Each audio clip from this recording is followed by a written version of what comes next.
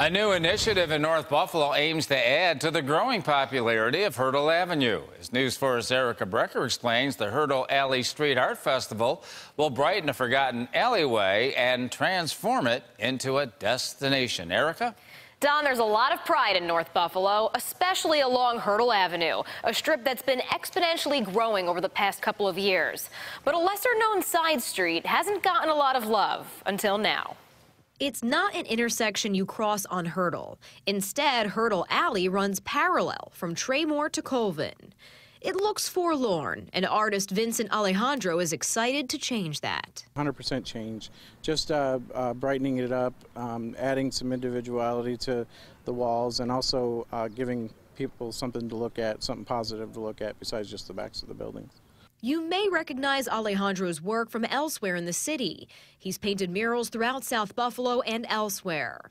Alejandro was working with Common Council member Joel Feroleto to expand upon the public art that already decorates the length of Hertel Avenue. This area could definitely use some love, so we decided to turn something that may be a negative into something very positive. We started the, the website hertelwalls.com, and there's a lot of people checking out the website, and we really see Hertel Avenue as a destination for people that want to look at public art.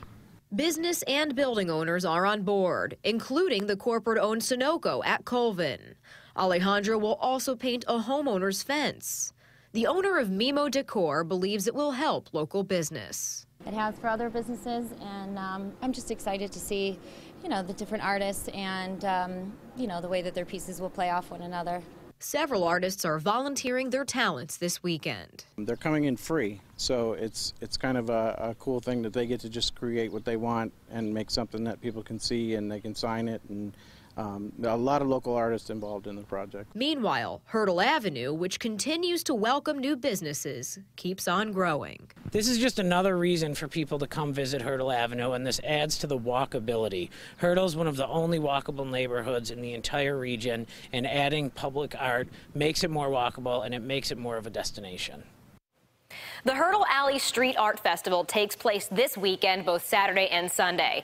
And if there wasn't already enough happening on Hertel, North Park Theater is hosting its restoration reveal party tomorrow night. That's to show off all the renovations for phase two of improving the historic Hertel Avenue Theater. Erica Brecher, News 4.